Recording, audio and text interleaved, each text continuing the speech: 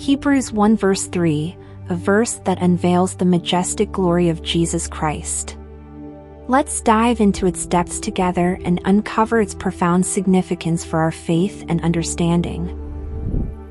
And he is the radiance of his glory and the exact representation of his nature, and upholds all things by the word of his power.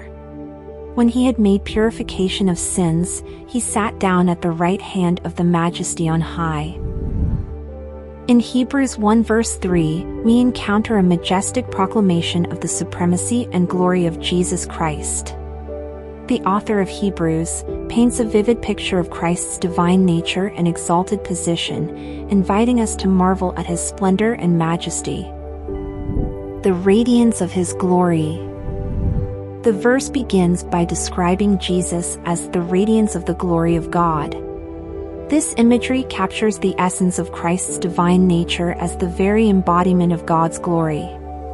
Like the brilliance of the sun, illuminating the darkness, Jesus shines forth as the visible manifestation of God's glory, revealing his character, majesty, and splendor to the world. The exact imprint of his nature. The verse declares that Jesus is the exact imprint of his nature.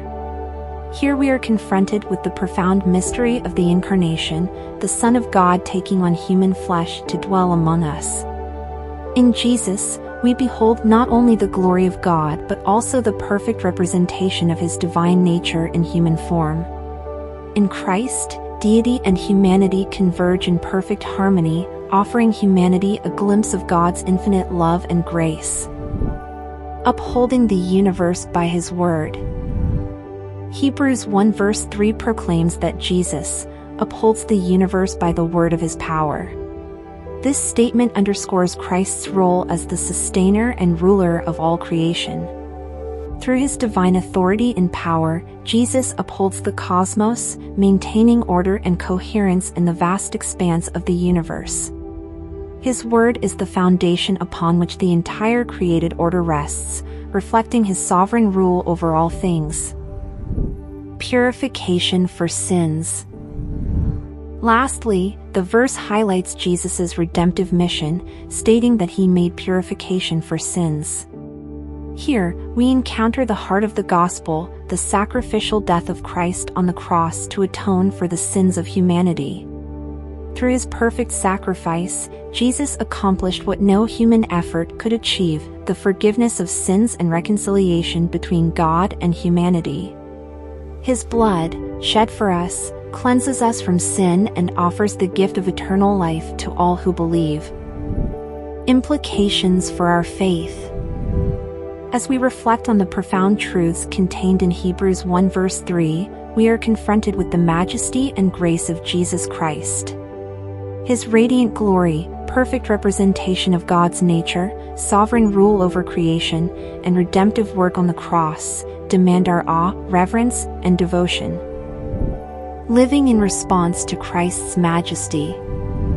In light of Christ's majesty and grace, we are called to surrender our lives completely to His Lordship. He is not merely a distant figure of history but the living Lord who reigns over all creation and offers salvation to all who call upon His name. Let us respond to His call with humility, faith, and obedience, yielding every aspect of our lives to His sovereign will and purpose. Spreading the radiance of His glory. As bearers of Christ's light, we are called to spread the radiance of His glory to a world shrouded in darkness.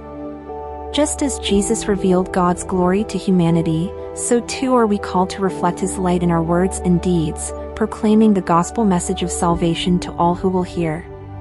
Let us shine brightly for Christ, illuminating the path to life and hope for a world in need of His grace. Beholding the majesty of Jesus Christ.